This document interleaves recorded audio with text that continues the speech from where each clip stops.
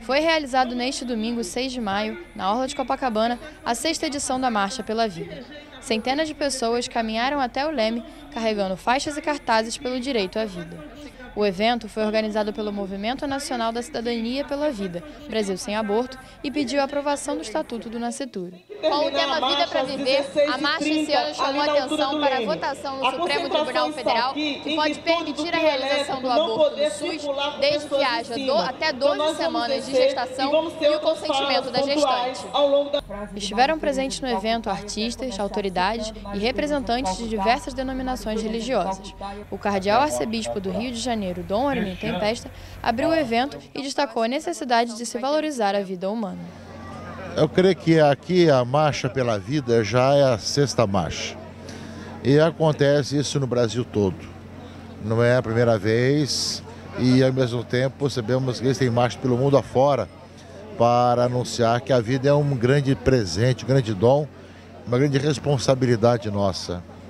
No mundo onde a vida vai sendo cada vez menos valorizada, onde as mortes se sucedem, onde se mata as pessoas como se nada valessem, eu creio que um movimento como esse é importantíssimo para recuperar o valor da pessoa humana, da vida humana. E ao mesmo tempo de advertir aqueles irresponsabilidade do grave momento que nós vivemos e que não pode, de jeito nenhum, né, passar com que a nosso país entre nessa liberalidade de matar sem dó pessoas inocentes, como aqueles que estão por nascer.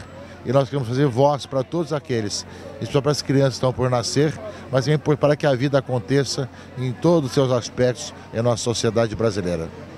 A coordenadora do movimento explicou que a marcha tem como objetivo conscientizar a sociedade brasileira das ameaças à vida no ventre materno e também repudiar qualquer tentativa de descriminalização da prática do aborto no Brasil. Nós estamos aqui exercendo o nosso direito de cidadão, pedindo e clamando à Suprema Corte do nosso país que não podem legislar no lugar do, do, Congresso Federal. Nós temos representantes legítimos, que são os deputados federais eleitos pelo povo em Brasília.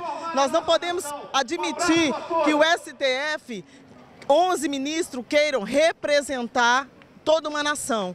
Nós precisamos que essas vozes se levantem.